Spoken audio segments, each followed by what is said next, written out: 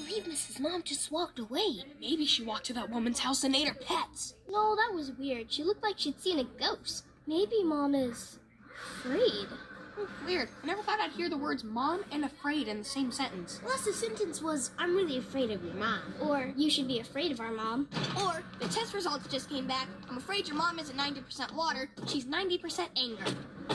Uh, so what happened? Oh, nothing. She was just an old school friend. I meant what happened to the car. Oh, that. Oh, it's just a scratch. Seatbelts, please. Here we go.